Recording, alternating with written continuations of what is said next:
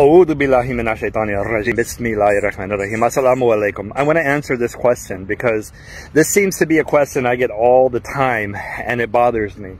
Why would someone born and raised in America become a Muslim? The answer is simple. Islam is for everybody. It's not contained in a time or a place. Allah subhanahu wa ta'ala gave the religion of Islam to all mankind, everyone.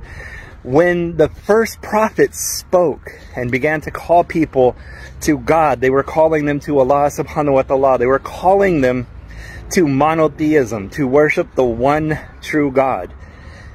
I am a Muslim, which is the same religion of Abraham, the same religion as Isaac, the same religion as Jesus Christ.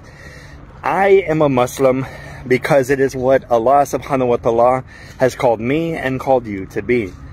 Islam is for everyone.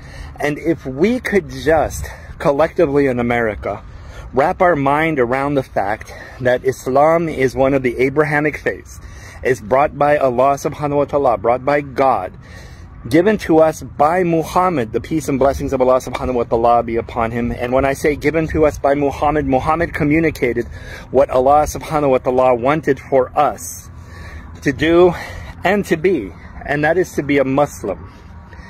On the day that I die, I'm going to be laying in one of these graves.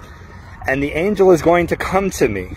And the angel is going to ask me questions. Who is your God? What is your religion? Who is your prophet? And I want to be able to answer those without going to the hellfire. I don't need my grave to become a place of suffering before hell. I don't need my grave to be one where I am hurting, like this right here. He is hurting in there. And I don't want that. I want to please Allah subhanahu wa ta'ala. I want to be a good Muslim for myself, my family, my community, and for Allah. And Islam has made me a better person, and it would make all of us better people if we would just submit to Allah subhanahu wa ta'ala. That's why I'm a Muslim, because I want to please Allah, the one God. أشهد أن لا إله إلا الله وأشهد أن محمدا رسول